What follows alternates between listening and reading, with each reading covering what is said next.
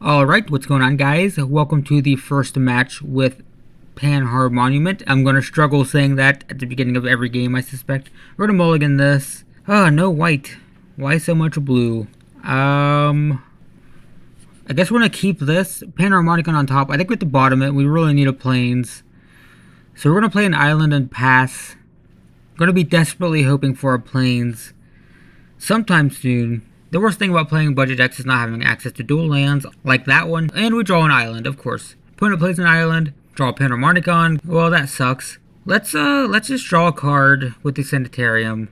Can we hit a Plains? Thalia's Lieutenant? No, so we'll discard Sunscourge Champion, since it has Eternalize anyway. Yeah, so just not being able to play dual lands is frustrating. It just, they break the budget by themselves before we even start building the deck, so yeah, it's just, uh, it's, it's frustrating. Because we have very few islands, but it looks like we've drawn all of them. Opponent cycles a hieroglyphic illumination. Okay. Play another dual land and pass. We draw plains. There we go. Um, I think we're going to go into Panharmonicon though. Um, is it going to be countered? Opponent's thinking about it. Okay, it looks like it. Negate. Okay, that's fine. Opponent plays a Westvale Abbey. I wonder if they're on a similar monument deck. Would we draw land? Play Oketra's Monument.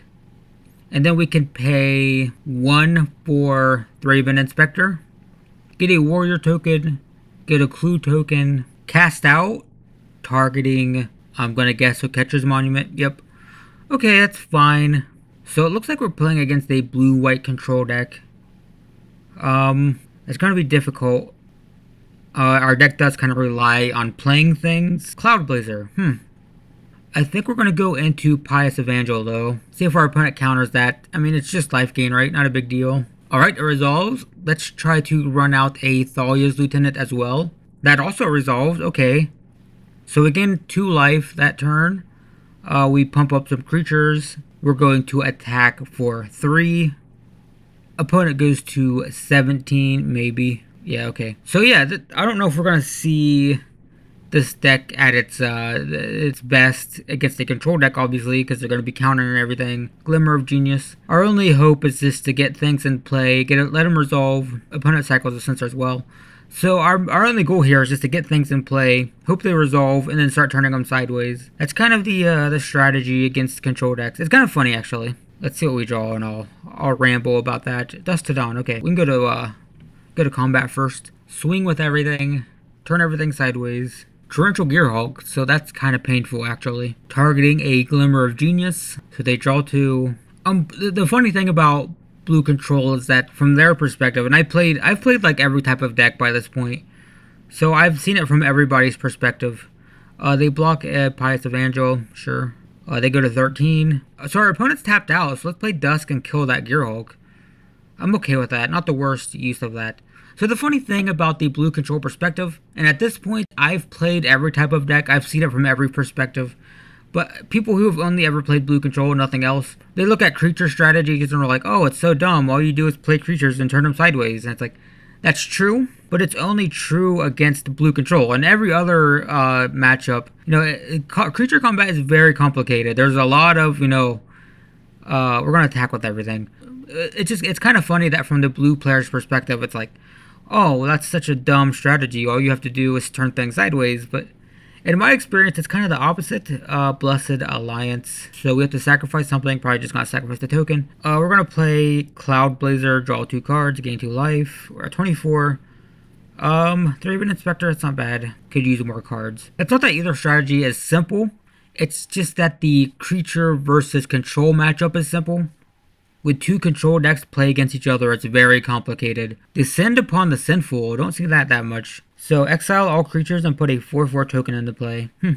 But it, yeah, it's it's only the blue control versus uh, creature or aggro uh, matchup that's that simple.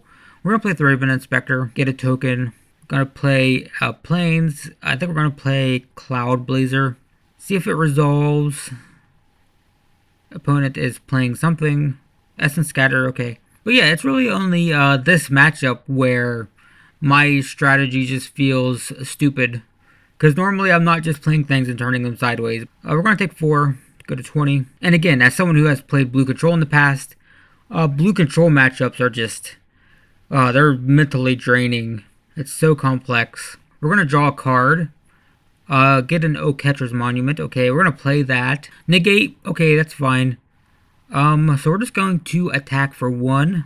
This game is starting to get out of hand. Uh, again, uh, this is a bad matchup for us just because we're kind of a mid-range deck, which means we give the blue control player lots of time to fill their hand with counters before we start doing stuff. They put a creature token into play with Westvale Abbey. Opponent attacks for 5, sending us to 15. We draw Thraben Inspector. Okay.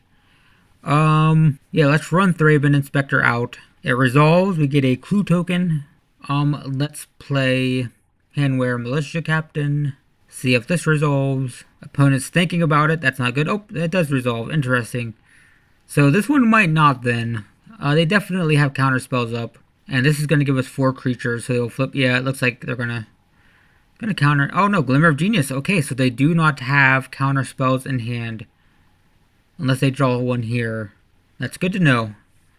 So we can uh, kind of just go crazy next turn, I think. Crack some clue tokens. Hope we draw into some. Oh, wait. Torrential Gearhulk. Oh, that's uh, that's good information though. They did not draw a counter spell.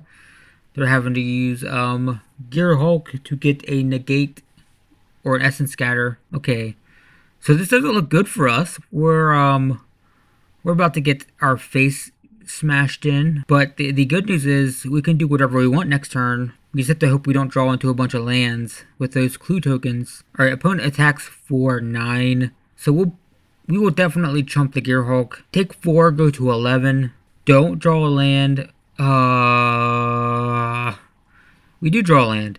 Well, we can cast Dusk. We'll live for this turn, and then we'll have a full hand. And we know they don't have counters. Or not Dusk, Dawn, sorry. Um, we'll cast Dawn. They do have counters. Okay, no. They're drawing two cards. So searching for counters. Hopefully they don't get one. They do not. Okay. So, so we're going to play Thraben Inspector. I think the plan next turn is to get the Pious Evangel in play and then start gaining tons of life. We have seven lands, so we can play the Evangel and the Sunscourge Champion. Uh, opponent attacks for nine. So we're going to chump the Gearhulk again, take 4, go to 7, draw plains, okay. So we'll play the Evangel, gain 1 life. We will play Hanweir Militia Captain, gain another life. Play Sunscourge Champion, gain 3 life. So we're back to 12. Our board state doesn't look nearly as bad. We're going to pass. I'm not going to attack. Um, I don't want to lose the Militia Captain, and I want the Thraben Inspector to chump the Gearhulk. So we're just going to pass. Opponent cracks a Blighted Cataract to draw some cards, sure. This game is going on for a while. Opponent attacks for 9 again, so we're going to, um, so we're going to chump that Gearhulk. We go down to 8. Our opponent plays a Glimmer of Genius, drawing two more cards. So they could have counters at this point, they have a full hand. Seven cards in hand. Opponent's playing something. Fumigate. Alright then, well, okay. We draw a Pious Evangel. Okay. So we will play that. Gain one life. Go to nine. We will play Cloud Blazer. Um, is this going to get countered? Disallow. Okay. The good news is we have Sunscourge Champion in the graveyard, so we can play that if we draw lands. We also have three clue tokens sitting here to draw cards. So, you know, it's still not great. They have five cards in hand. But um, we do have ways to get back in this. Um, opponent passes. We draw a Dusk to Dawn. Um, let's crack a Clue token. Draw a Sunscourge Champion. Um, yeah, let's try to run it out. I don't know how successful this is going to be. It does resolve. Okay. So we go to 12. Our opponent is at 19. We will attack for 2. Opponent goes to 17, and we will pass. We'll crack a clue token at the end of our opponent's turn, probably. Opponent cracks a Blighted Cataract for two more cards. Um, Fumigate, okay, well, sure. So they go back to 19. We draw a Panharmonicon. Well, that's kind of interesting. I think I'm going to play that, actually, yeah. Play Panharmonicon. See if it resolves. They have six cards in hand. They might let it resolve. They do let it resolve, okay. So let's crack a clue token, Plains, well, we could use that to discard to Sunscourge Champion. So if we do that next turn, we're going to gain 8 life. We will be back at 20, and we'll have a 4-4 to attack our opponent with. Not the worst thing. Well, never mind. They play a Torrential Gearhulk that's a little bit bigger, and they target a Glimmer of Genius, drawing two more cards. So opponent's turn, 8 cards in hand. Going to take 5 here. Uh, so they attack us for 5. We go down to 7. That's fine. Cast out, targeting Panharmonicon, I'm guessing. Yep. Okay, so we're not going to gain 8 life. Let's uh, crack a clue token in response. Hanweir Militia Captain, not great. Yeah, and we draw another land. Well, let's bring in Sunscourge Champion, pay 4, discard a land, gain 4 life. We'll also eternalize the other one, discard another land. So we go to 15 and we've got 8 damage on the field. Don't know if our opponent's still going to attack us or not. Glimmer of Genius, okay, so they draw 2 more cards. Go to 7, that's fine. We're going to pass for now. So if they attack for 5, we go to 10, and then they would be at 11. Hmm. Yeah, I don't know. Oh, well. Or that happens. Quarantine Field is going to exile both of our tokens. And then we're going to go to 10, probably, I assume. Opponent goes to combat and attacks for 5, so go to 10. Well, we can kill the Gear Hulk, I just don't know if it's going to resolve. Oh, Angel of Invention. I mean, we would go to 5, which is dangerous, but then we have Lifelink. I think we're going to play Dusk. Kill that Gear Hulk, unless it gets countered. Um, yeah. Disallow, sure. So, if only we could uh, cast Dawn. But we'll play a Hanweir Militia Captain. It's a 2-2, which is uh, not quite as big as the Gearhulk. So I, I might just chump block just to try to push this game for another turn. Um, opponent puts a token into play. This is just a, a very not good game for us. We're gonna uh, we're gonna block that. I just want to uh, sustain my life total for a couple more turns. Gideon, well, shoot. Um, this is bad. I don't know if there's a way for us to not lose. Panharmonicon, uh, we can't play both of those in a single turn, which is too bad. I think we're gonna play Angel of Invention. Yeah, we're gonna put, we're gonna give it, uh, plus one, plus one counters. So now, our opponent can't attack with a token, so we're only gonna go down to, oh, or a Stasis Snare. Um, yeah. And we were drawing an island. We're going to bring in Padeem because this game is going to go long. So just that card advantage is going to be good. We're going to take out, um, Thalia's Lancers. Nah, let's take out a Panharmonicon and an Oketra's Monument because we keep just, we can't get value out of them. Um, let's bring in two negates in favor of some Hanweir militias because we can't keep creatures in play. We'll bring in a Dispel and take out another Panharmonicon. And I think that's good. We'll just, uh, we'll get into game two and see how this goes. Alright, game two, and this game is going long. They've only done one game. We've got at least one, maybe two. Uh, this hand's okay. It's not terrible. Um, that's just, actually, it's kind of terrible, but I'm not going to mulligan. We'll play Plains and pass.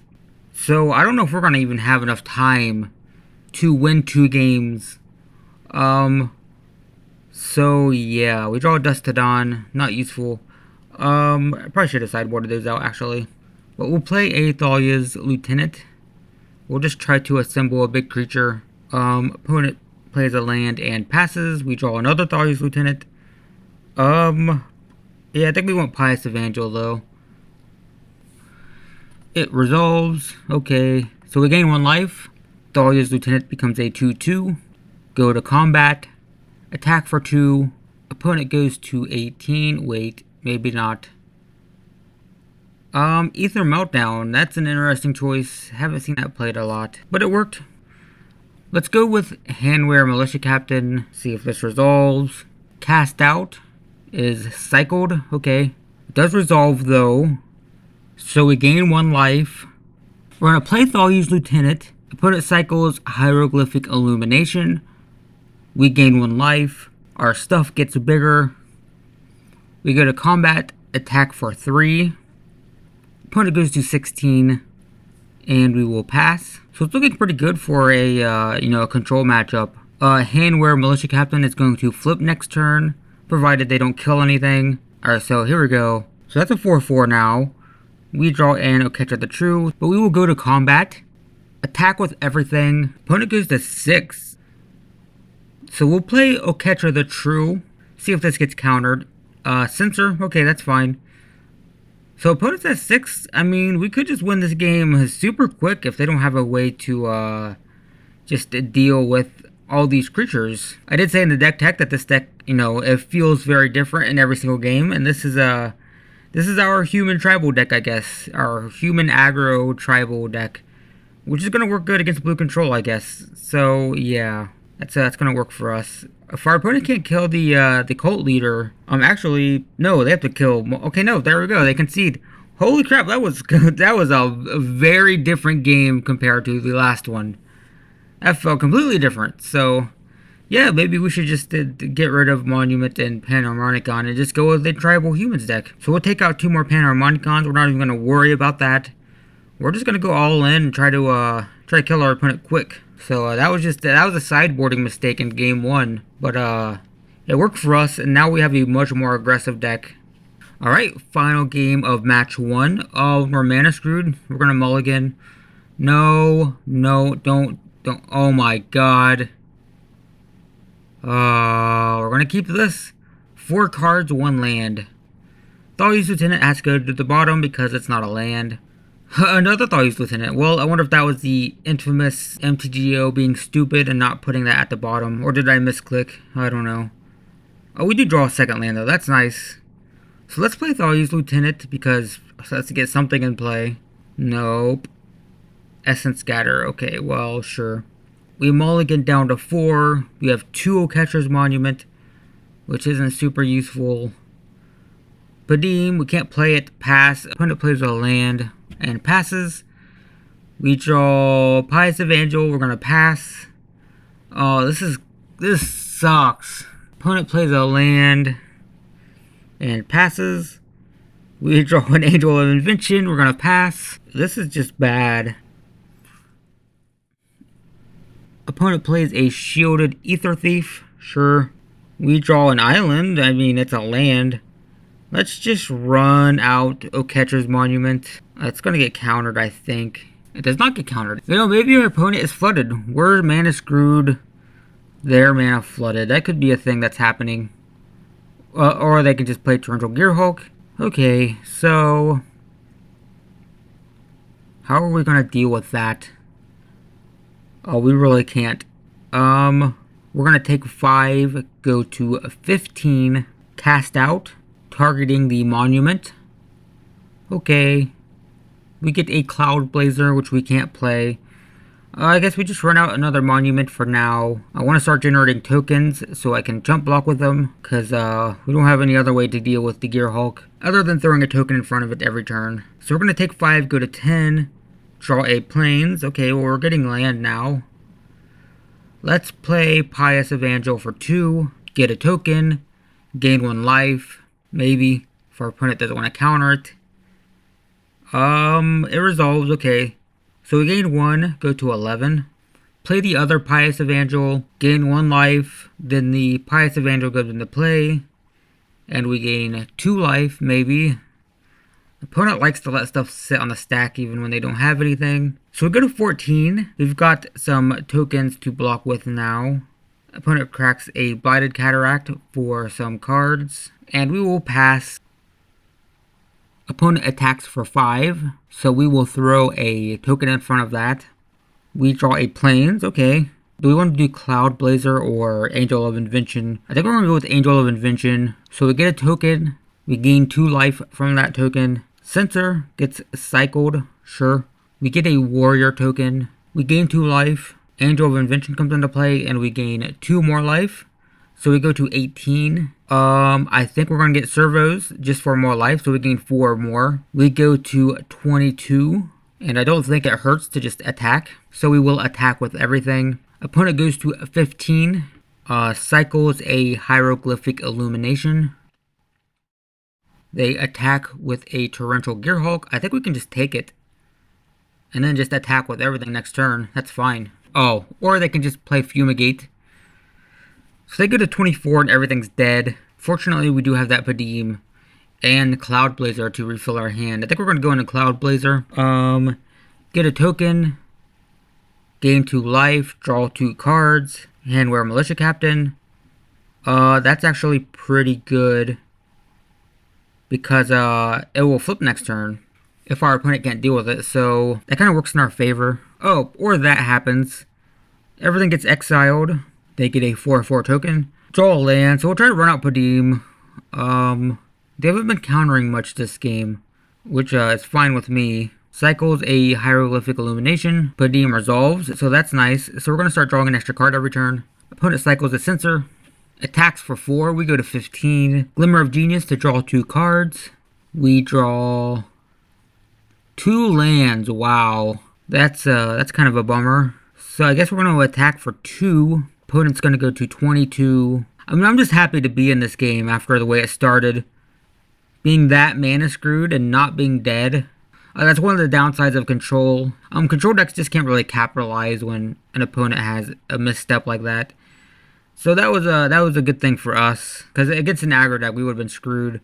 Uh, we draw another Oketra's Monument. I guess we can run that out. Wait, mm, no, it's it's legendary. Uh, oops, I. That was just like an automatic response, like, "Oh, hey, Oketra's Monument, let's play that." Uh, that's it's it's legendary. Well, Oops. We'll still we'll play Pious Evangel, get a token, gain a life. We'll attack for two, bring our opponent down to 20. That was just a stupid mistake. I, mean, I guess it doesn't really matter right now. We'll see if uh, they have to kill Padeem to even target the uh, Oketra's monument. But in the event that that happens, I'm going to be sad because uh, that should have happened. Um, opponent uses Westvale Abbey to put a token into play. They go down to 19. Quarantine Field for two. So they're going to target Pious Evangel and Padeem. So there we go. Now our uh, our monument is vulnerable. Um, opponent attacks for five. I'll I'll try tokens, sure. So we take four, go to eight. This is looking pretty bad. Draw a Cloud Blazer. Okay, that's not terrible. Let's play that. Um, get a token. Gain two life. Draw two cards. We draw another Cloud Blazer and a Hanweir Militia Captain. Um, let's play the other Cloud Blazer. Get another token, gain two more life, draw two more cards. Um, let's run out Hanweir Militia Captain. So that will flip next turn if it survives. We drew a negate, but we don't have uh, mana for it. But uh, we'll, we'll attack for one. Opponent goes to 18. Opponent's running out of time too. I really don't want this game to go to time. Hopefully they can, uh, you know, pick up the pace a bit. They pass. That's not picking up the pace, but uh, it's understandable. Um, Militia Captain flips, so that's nice. Two negates. Well, hey, it looks like we're running the control deck now. We're going to attack with the captain, or with the cult leader now. Opponent puts a token into play, so they chump block, that's fine. We get a token from the cult leader. Opponent casts a hieroglyphic illumination. I'm going to counter that because I don't want them drawing cards. Negate uh, well, I guess I'll negate your negate. We got a stack of negates going on here. I really don't want them drawing cards. They're low on cards, and that's good for us playing against the control deck, especially with the current board state. So, don't want them drawing. Uh, we're going to take 4, go to 8. But we're looking good right now. Land, uh... Uh, yeah, we can just attack with everything. Um, opponent... Oh, there was for Abbey's tap. Aether Meltdown, okay. So, opponent goes to 4. So, um... I'm pretty sure we have this actually. Unless they can, uh, or they could cast like a Fumigate or something, that would be bad. But for now, it's looking good. Opponent's going to attack for four. I think they're just kind of giving in. Um, yeah, we go to four, draw a land, but it doesn't matter. We're going to attack. That should be the game, unless they have something up their sleeve. No. Wow, geez, after that first game that went so long, and then we got mana screwed in game three, and we still pulled it off. I guess that's game one with uh, Panharmonument, as I'm calling it. That was a long, grindy game, and I have a feeling I'm in for four more games like this. Uh, well, That's a that's a win. That's a win. That's a 1 and 0 record so far with Panharmonument. The awkward, weird, ridiculous deck that, you know, probably shouldn't be a thing. But hey, it's uh, it's worked for us there. We didn't get to see it in full force because our stuff was being countered constantly. But you kind of get the idea is that you can come very close to death and then just gain so much life, get yourself back in the game, and you're just constantly sustaining yourself until you hit, you know, some sort of game finisher. So, uh, I guess that's, uh, again, that's, that's the first game with Panharmonument. I hope you enjoyed. I, I'm tired, personally, but, uh, uh, that's, uh, that's, that's game one. We're 1 and 0. If you like this deck, check the description. There should be a playlist. And I will see you in the second match.